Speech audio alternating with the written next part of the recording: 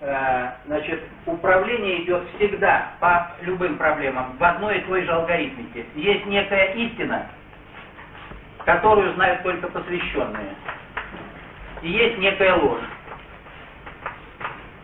Для того, чтобы э, народ или толпа не вышла на эту э, как бы дилемму, как это или это, вот эта ложь разбивается всегда на две лжи.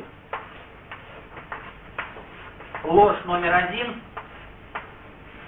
и ложь номер два. И, соответственно, вот сюда помещается народ.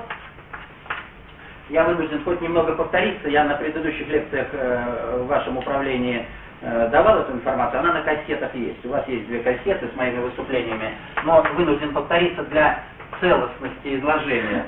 Так вот, народ вот здесь. А, значит, посвященная элита, 3000 лет назад э, узурпировавшая систему управления, она находится вот здесь. Все, что я говорю, не имеет ровным счетом никакого отношения к теории мировых заговоров, там, так сказать, э, каких-то мировых правительств. Вот это все придумано тоже, чтобы те люди, которые начинают понимать нечто, чтобы их вплести в другую обманку, в другую ложь но не для того, чтобы дать истину. Мы говорим, управление осуществляется не с помощью мировых правительств, заговоров, а, а на, уровне бесструктурного управления.